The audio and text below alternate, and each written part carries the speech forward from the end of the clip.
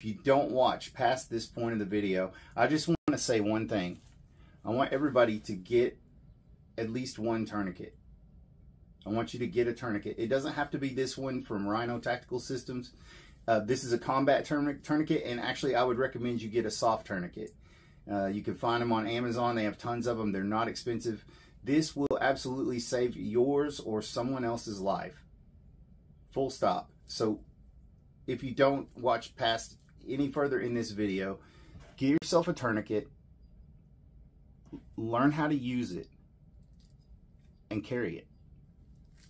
And if one person buys a tourniquet and starts making it a part of their EDC, I'll be happy.